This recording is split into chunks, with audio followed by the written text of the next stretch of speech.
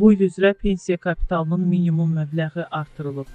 Xəzər TV xəbər verir ki, beləliklə pensiyaya çıxmaq istəyən vətəndaşların minimum pensiya kapitalı 34560 manat olmalıdır. Əmək və Əhalinin Sosial Müdafiəsi Nazirliyindən verilən məlumata görə, pensiya yaşına çatmış şəxs pensiya hüququna malik olması üçün ya əmək pensiyasının minimum məbləğindən az olmayan pensiya kapitalına, bu olmadıqda isə azı 25 il sığorta stajına malik olmalıdır. İqtisadçı ekspert Xalid Kərimlinin sözlərinə görə, bundan əvvəl pensiya kapitalının məbləği 28800 manat təşkil edirdi.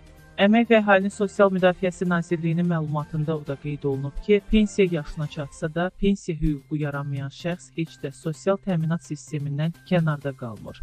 Qeyd edək ki, bu il üçün pensiyalara indeksləşdirmə əsasında artım tətbiq edildikdə Əmək və Əhalinin Sosial Müdafiəsi Nazirliyi tərəfindən bu barədə vətəndaşlara məlumat veriləcək.